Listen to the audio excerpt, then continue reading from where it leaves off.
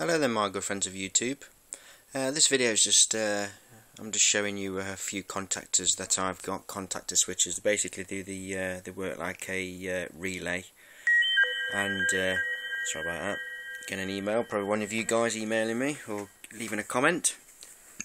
But uh, yeah, I'm just showing you a few contactors that I've got. Um, this is the largest one I've got. This is quite a good high amperage one, this one.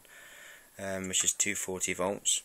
This one I got from the scrapyard, which I've got two of these, one for me and one for my friend uh, John High Voltage Projects. And uh, unfortunately though, the thing is with these, they are 600 volts up to, and the coil itself is this uh, label somewhere which shows, right, it's on top of there. I think where it is. I read it on the inside of it anyway, and the, the coil itself, the voltage on the coil is 400 volts for the coil to uh, to latch. So, I don't know if you're watching this one, John, but uh, unfortunately these are 400 volts, mate, to uh, get it to latch properly. Um, um, otherwise, it just hums like mad at 240 volts because I've tried it and uh, sounds pretty cool though because you can hear the uh, the 50 hertz from the the AC voltage but uh, unfortunately though they don't latch. But I don't know whether or not it would be uh, helpful you know any use for you mate but I'll save one for you for when you come down in the new year anyway.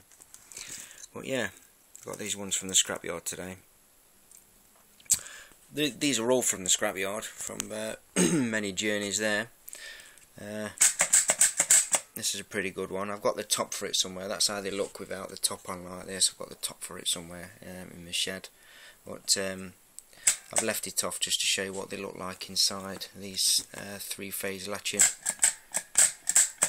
So I'll switch this one on and show you it working.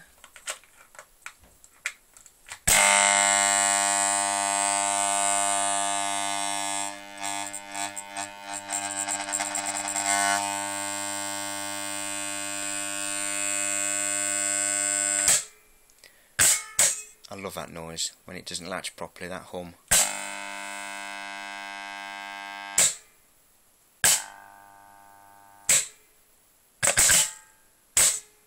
Of course, when it's latching, these aren't these these aren't live. These aren't at all, because basically this is just basically one big electric. It's like a relay of switch, of, which is the same as a relay in in theory. Um, but uh, yeah, you you have to put a a current uh, through these to enable these to be live of course when it's latched over.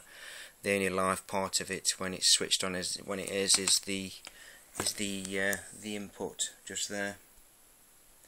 As you can see the wires just going in there. This is my favourite though. I do like this one. And then I'll go down to these these are the little ones I've got. These are all 240 volts. Up to this one this is 12 volts. I'll show that one working in a minute. But yeah this is the smallest one I've got. This is 240 as well. I'll show this one working.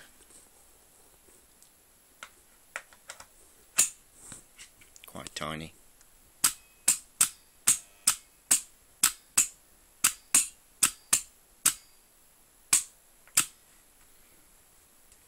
Okay that's a label on that one upside down.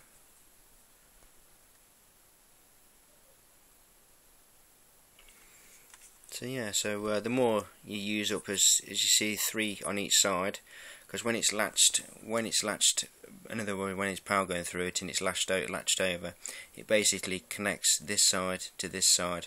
So if you've done what is on here, you can basically have it drive more amps because you're using more of the uh, the switch contactors.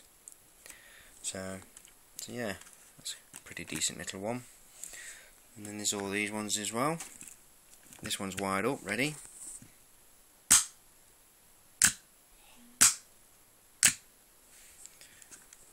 Uh, that's the label on this side.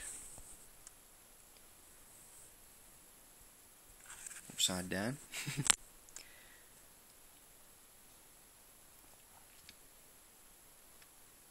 So it looks like this one's looks like this one's 10 amp this one could be more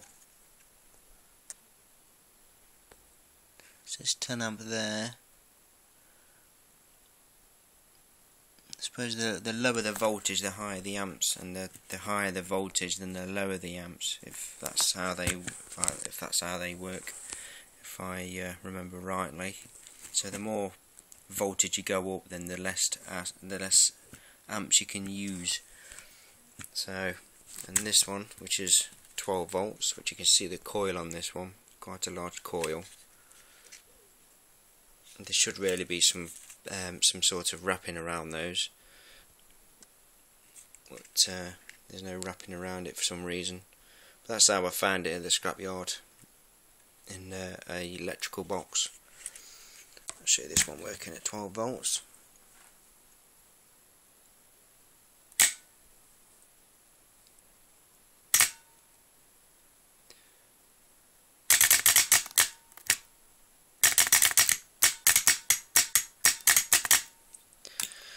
there you go. Found this really nice little amp meter at the scrapyard today. Yeah, because I went to the yeah, you're probably all wondering, hey, you've been to scrapyard? Yes, I went today to and pick two of these up, and another one of those large um, capacitors I've got, which uh, my friend John wants, which I'm giving him one. But yeah, this is a nice little 20 amp display um, meter, which is pretty cool. I got it before it got uh, destroyed. So there you go guys, thought I'd share those with you, some nice big contactors and little ins. Look after yourselves, be safe, speak again.